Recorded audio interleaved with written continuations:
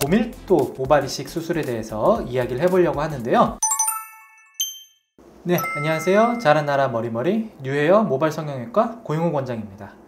오늘은 특별한 주제, 고밀도 모발 이식 수술에 대해서 이야기를 해보려고 하는데요. 고밀도 모발 이식은 1제곱센티미터당 60개에서 80개 정도의 이식편을 이식하는 수술입니다.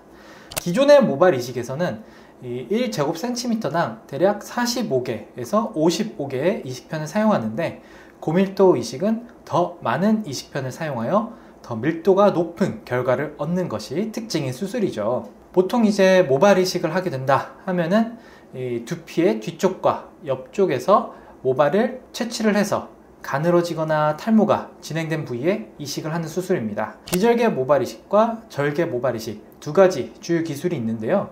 각각의 특징과 차이에 대해서 간략하게 말씀을 드리도록 하겠습니다. 비절개 모발 이식 수술은 모낭 하나하나를 개별적으로 채취하여 머리카락을 뽑은 자리에 작은 점 모양의 흔적을 남깁니다.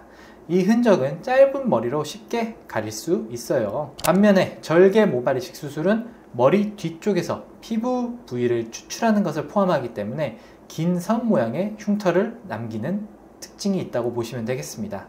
고밀도로 이식을 해도 정상 밀도와 같은 밀도를 달성하기는 어렵다는 것을 꼭 알고 계셔야 됩니다. 하지만 중요한 점은 모발 이식 이후에도 정상 밀도보다는 낮지만 티가 나지 않게 굉장히 자연스러운 헤어스타일을 보일 수 있습니다. 그리고 너무 많이 심어버리게 되면 모발을 물리적으로 이식할 수 있는 한계를 넘어서게 되고 무리하게 시도 시 이식 모발들이 생착되지 않고 부분 부분 죽을 수도 있습니다. 만약 이식 후 밀도가 낮거나 만족스럽지 않다면 밀도 보강 수술을 진행할 수 있어요. 이 경우에는 밀도가 낮은 부위를 선별해서 이식을 하기 때문에 1차 수술보다 밀도를 훨씬 더 높일 수 있습니다. 저희 뉴에어 모발 성형외과에서는 어떻게 해서 고밀도 모발 이식을 하느냐 하면은 슬립 방식을 사용합니다.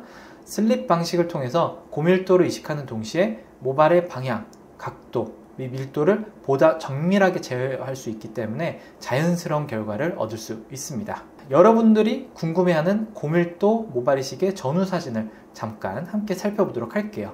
어떻게 변화한지 직접 확인해 보시면 좋겠습니다.